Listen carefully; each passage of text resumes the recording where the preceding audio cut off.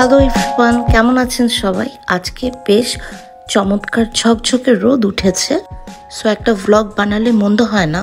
আজকে এই ট্রাঙ্কটার একটা মেকওভার করব এবং এই ট্রাঙ্কের যে গল্প আছে, সেটা আপনাদের সাথে শেয়ার করব।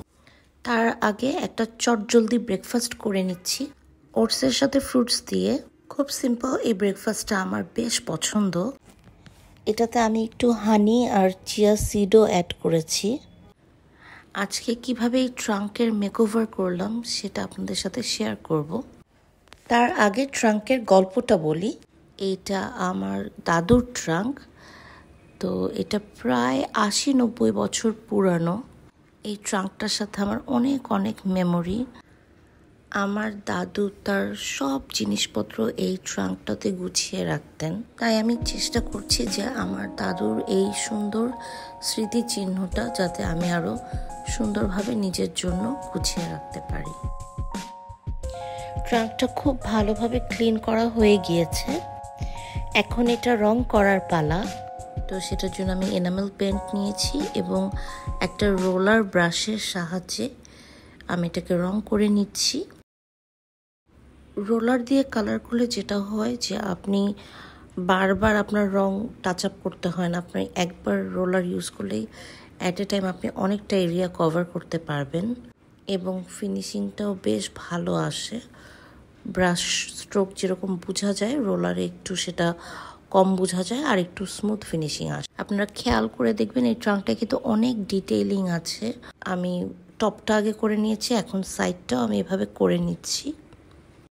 তবে যেহেতু এই ট্রাঙ্কটাতে অনেক ডিটেইলিং আছে, অনেক উঁচু নিচু জায়গা আছে, তো রোলারের পাশাপাশি আমার যেটা মনে হচ্ছে যে কিছু কিছু জায়গায় ব্রাশও ইউজ করতে হবে।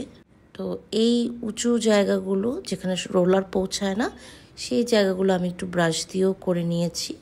এটা শুকাতে বেশ সময় নিয়েছে, তো তারপরে পুরোপুরি শুকানোর পর এটা হচ্ছে আমার ফাইনাল লুক অ্যান্ড আমি এটাকে একদম হোয়াইটই রেখেছি। কোনো ডিটেলিংয়ে এক্সট্রা কালার করি না। আপনারা চাইলে এটার উপর গোল্ডেন ব্ল্যাক যে কোনো ধরনের কালার করতে পারেন এরকম ট্রাঙ্কে আমি যেহেতু একটু মিনিমালিস্টিক লুক প্রেফার করি সো আমি এটাকে একটা রঙেই কালার করেছি, যাতে এটা আমার অন্যান্য ফার্নিচারকেও কমপ্লিমেন্ট করে। এরপর এটার উপরে আমি একটু ডেকোরেট করে নিচ্ছি। একটা প্ল্যান্টার রাখলাম।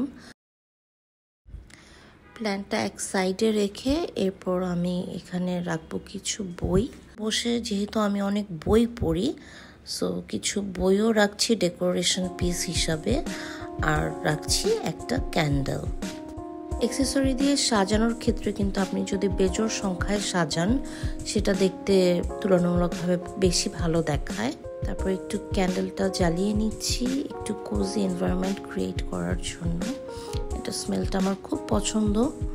সো এই হলো আমার এই স্পেসটার ফাইনাল লুক কেমন লাগল আমাকে অবশ্যই জানাবেন। পাকা আমরার চাটনি আমার খুব ভালো লাগে, চাটনি বা আচার যেটাই বলি না কেন। সো প্রথমবারের মতো এই চাটনিটা আমি বানালাম। নেক্সট ভ্লগে এটার রেসিপিটা আপনাদের সাথে শেয়ার করব। আজকের মতো এখানে বিদায় নিচ্ছি।